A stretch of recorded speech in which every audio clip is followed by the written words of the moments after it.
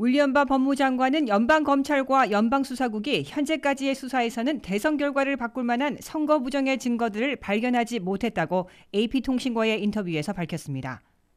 윌리엄바 연방 법무장관의 이 같은 공개 발언은 여전히 부정선거와의 투쟁을 벌이고 있는 도널드 트럼프 대통령과 그의 법률팀, 분쟁 지역의 공화당 주의회의 움직임에 찬물을 끼얹을 수도 있는 것이어서 향후 사태 전개가 주목되고 있습니다.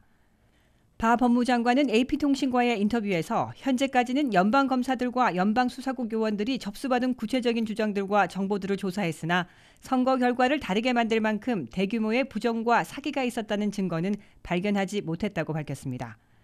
윌리엄 바 법무 장관은 지난달 법무부 범죄수사국과 전국의 연방검찰, 연방수사국 등 산하 수사기관들에게 각 주의 선거 결과 인증이 나오기 전이라도 제기되는 선거 부정에 대해선 수사할 수 있다고 승인한 바 있습니다.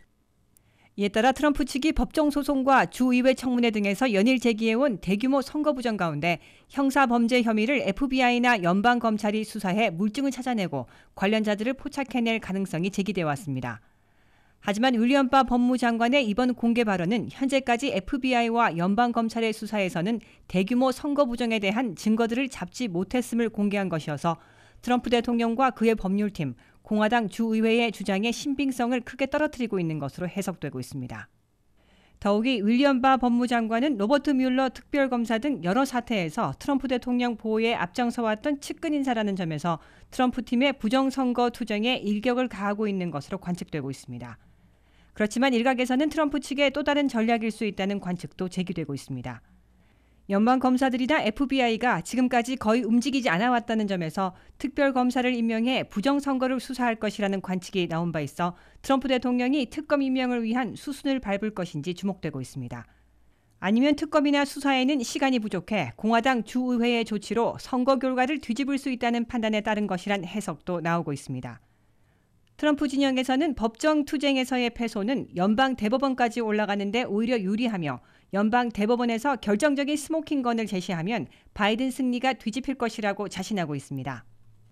트럼프 대통령은 펜실베니아와 미시건, 조지아, 애리조나, 위스컨신, 네바다 등 6개 분쟁 지역들 가운데 3, 4곳에서 엄청난 부정선거를 포착해 해당 지역 공화당 주의회가 바이든 승리를 인증하지 않고 분쟁으로 연방에 보고하면 내년 1월 6일 연방 하원에서 대통령을 선출해 재선에 성공할 수 있는 길이 있습니다. 루디 줄리아니 변호사가 이끄는 트럼프 법률팀은 펜실베니아를 시작으로 애리조나와 미시건 주의회를 장악하고 있는 공화당이 개최한 주의회 청문회에 직접 참석해 접수된 우편 부재자 투표 용지보다 개표된 숫자가 많은 경우 등 명백한 부정표들이 너무 많다고 주장하고 뒤집기를 장담하고 있습니다. 트럼프 법률팀과는 별개로 유권자들의 소송을 대리하고 있는 시드니 파월과 리누드 변호사는 도미니언 보팅 시스템과 스마트매틱 소프트웨어가 베네수엘라와 중국 등 외국들이 개입돼 있으며 선거 결과를 전송받은 독일 프랑크푸르트에서 미 특수부대가 서버를 압수해 부정선거 물증을 잡고 있다고 주장하고 있습니다. WKTV 뉴스 박남주입니다.